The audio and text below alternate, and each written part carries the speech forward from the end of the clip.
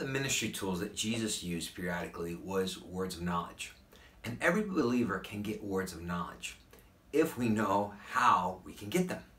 Um, let me give you a few examples of how Jesus used words of knowledge.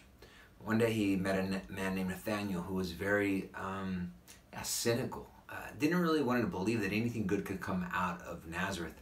And he looked at him and said, I saw you when you were sitting under the under a tree. And that was the information that turned uh, Nathaniel from a cynic to a believer.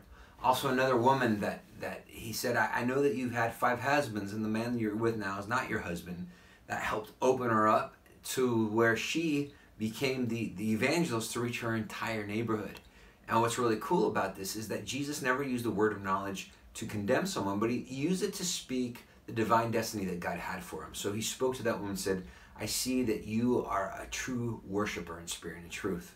So we can also get words of knowledge. But the thing that's hard about words of knowledge is we don't always know uh, if we are getting a word of knowledge or if it's just us possibly making it up.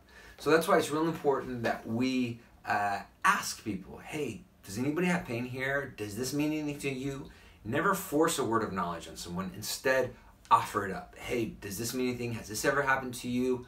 Um, and as you learn to uh, put your antennas up uh, to what God's Holy Spirit may be saying you, uh, you'll be able to grow in uh, receiving words of knowledge. Now, there's there's some ways that we can get words of knowledge. Uh, one is that we can see a word of knowledge. Sometimes some people see like words written on the foreheads of people, or things above their heads, or some people might um, see uh, just pictures. Sometimes when I'll see somebody, I'll say something like, "Can I tell you what I see in you?" And they'll say, "Yeah." And then I'll see them, for example, driving a forklift, and I say, "I see you driving a forklift," and they'll say, hey, that's what I do for work. How'd you know that? And that gives me an opportunity to share the gospel with them. Another way that you can, you know, get a word of knowledge is through seeing it, is through dreams or visions, uh, but also you can feel a word of knowledge. Um, sometimes I'll be preaching or teaching, and all of a sudden I'll get a pain in my body that's not my pain, and I'll say, "Does somebody have pain here under their foot or in their shoulder?" And and many times someone there does have that pain, and I'll pray for them, and God will heal them. But also, you can feel someone's uh, pain or or feel something. For example, I was in Eastern Europe when one, one woman on my team said, "I don't know why, but I'm, I'm really afraid. I'm shaking." And I looked and I said, "It's just a word of knowledge. You're just picking up things that, that are here and, and just release it and give it to God." Another woman on my team uh, looked at me and told me how, how all of a sudden she started having these thoughts bombard her about how prophecy and gifts of spirits all fake, it's all made up. And she thought, why am I thinking this? And she looked over and there was five people with their arms crossed like this. Mm. And she realized, hmm, I think that's what they're dealing with. So she went, she ministered to them, prayed for them, and they opened up and they were, receive, were able to receive further that evening. Um, another way that you can get word of knowledge is you can smell. Um, I don't get this, but I do have friends who can smell the presence of God, smell the presence of evil spirits. Uh, they can actually uh, many times they'll be able to discern which spirits or, or, which sins people are dealing with because of the smell, the, the, the strong smell. Uh, this does not happen to me, at least very often, uh, but it is possible.